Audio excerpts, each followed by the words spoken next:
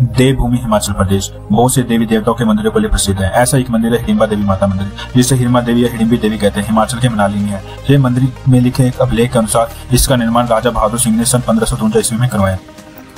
महाभारत काल में वनवास के दौरान जब पांडवों को लक्ष्य में जलाकर मारने का षड्यंत्र रचा गया, तब विधुर के परामर्श पर वहाँ से वे भागकर वन नामक वन में चले गए, जहाँ पीली आँखों वाला हिडिम्बा दानव राज करता था। उसने अपनी बहन हिडिम्बा को भोजन की तलाश में वहाँ भेजा। वहाँ वो पांडवों को देखकर भीम पर मोहित हो गई और उन्हें नहीं मारने का निश्चय किया। जैसे ही ये बात हिडिम्ब को पता चली, उसने पांडवों पर हमला कर दिया, लेकिन तब भीम ने उसका वध कर दिया। तब कुंती माता ने अपनी सहमति से भीम और हिडिम्बा का विवाह करवाया और उनका एक पुत्र घटोत्कच हुआ।